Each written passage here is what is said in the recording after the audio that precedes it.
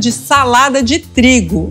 Essa receita também rende seis porções. Então, só para recapitular, eu deixei duas xícaras de trigo ou triguilho, né, aquele para quibe, hidratando em quatro xícaras de água. E o ideal é deixar ele de molho por uma hora. E essa provavelmente é a parte mais demorada da receita, né? Aí vai depender se você vai querer deixar na geladeira mais ou menos tempo. Mas enfim, eu vou misturar muitas especiarias aqui nessa, nessa preparação. E eu tô te contando isso porque o, o nome dessa salada turca tem tudo a ver com isso. A feira por lá é chamada de bazar.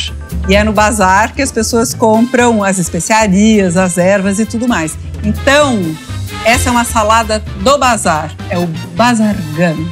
Ela ainda vai levar nozes e salsinha, mas primeiro eu preciso escorrer a água do trigo que está aqui. Eu deixei aqui um escorredor de macarrão para facilitar a vida e a gente vai usar um pano pano branco, pano de prato limpo, né, para fazer uma trouxinha, porque eu quero escorrer bem essa água, porque senão ela vai dissolver todo o molho da salada. Vai o trigo, colocou no paninho, faz uma trouxinha e, e torce bem. Torce para tirar toda essa água aqui. Tá pensando aqui que quem costuma fazer quibe conhece esse trigo aqui, né? Antigamente era mais fácil de encontrar esse produto aqui em empórios árabes, mas hoje em dia tem na maioria dos supermercados. Eu estou dizendo isso porque eu sei que ele não é assim muito comum, muito habitual na cozinha brasileira. Mas como a ideia hoje é mostrar a fórmula do PF, e facilitar a vida de quem diz que não tem criatividade na cozinha, eu resolvi variar mesmo. No lugar do arroz, que é um cereal, eu estou usando o trigo, que é outro cereal. Olha que combinação de sabores diferente. A primeira parte é moleza aqui, dois terços de xícara de azeite. Agora, o que dá o sabor muito característico dessa receita é o molho de romã. A gente compra pronto esse. É uma espécie de, de melado também. É, você encontra fácil em empórios de produtos árabes ou na parte desses produtos do mercado.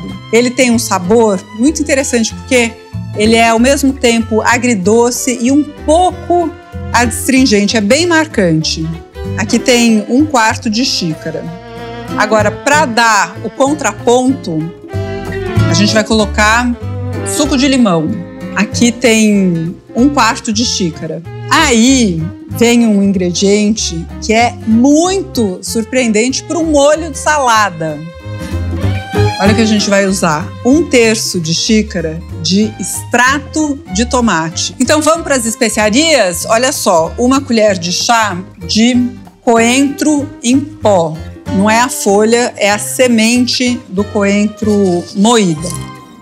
A mesma medida do cominho em pó. E vai também meia colher de chá de pimenta da Jamaica em pó, que, apesar de ter esse nome pimenta, não é ardida e é bem aromática, tem um sabor que parece uma combinação de cravo com canela, noz moscada. A gente vai usar meia colher de chá. E aí, para terminar, pode temperar com uma colher e meia de chá de sal. Agora vai o trigo, agora é só misturar. E aí, eu vou mandar para geladeira. Essa salada aqui ainda leva nozes picadinhas e tostadas e também salsinha, mas esses ingredientes a gente deixa para misturar só na hora de servir, porque aí as nozes ficam mais crocantes e a salsinha mais fresca. E pronto!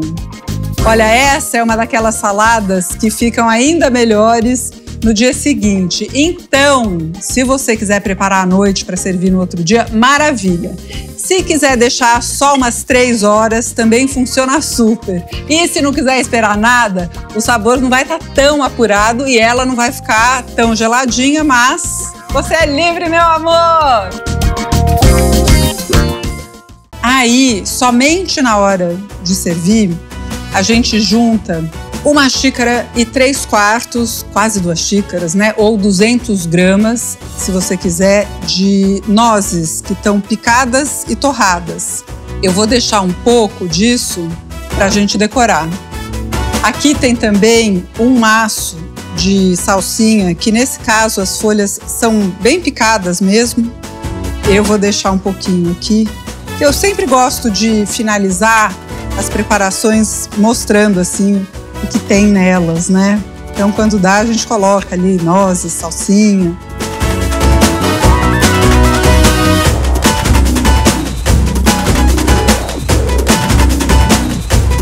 Como a gente está nesse clima mistura do Brasil com o Egito, eu vou aproveitar essa cerâmica aqui do norte da África, do Marrocos, e colocar essa salada que vai ficar linda chuva de salsinha, só para dar mais um verde. E as árvores somos nozes.